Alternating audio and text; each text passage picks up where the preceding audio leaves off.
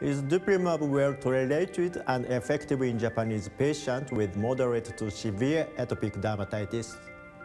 My name is Dr. Norito Katoh.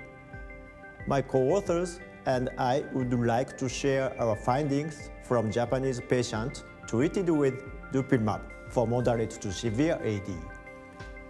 Dupilumab is a monoclonal antibody that specifically targets interleukin-4 and 13 key molecules in type 2 inflammation. Differences in AD pathology have been reported between Asian and Western populations. Activation of Th17 is more common, while filaggrin mutation are less common in Asian patients.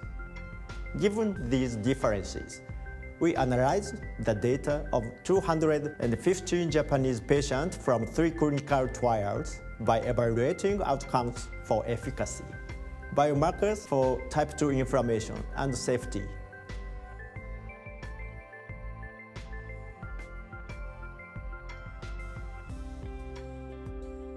While the baseline demographics and clinical characteristics of Japanese cohort were generally similar to that of the overall study population.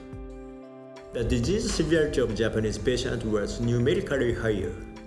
Despite higher baseline severity, we found that dupilumab significantly improved signs and symptoms of AD. In the Japanese cohort, including pruritus, the efficacy was maintained through 52 weeks, as it did in the overall study population. Dupilumab treatment was associated with reductions relative to the placebo in levels of key biomarkers of type 2 inflammation.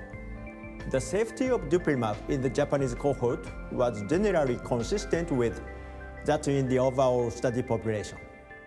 Compared with placebo, dupilumab was associated with higher incidences of injection site reactions and conjunctivitis. Our data indicate that also in Japanese patients, a population with distinct AD phenotype and genetic background, IL-4 and IL-13 play critical roles in pathogenesis of AD.